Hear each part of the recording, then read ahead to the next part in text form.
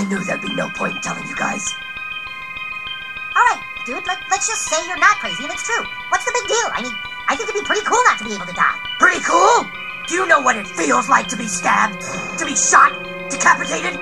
Torn apart? Burned? Run over? Kenny, Kenny, calm down. It's not pretty cool, Kyle. It fucking hurts.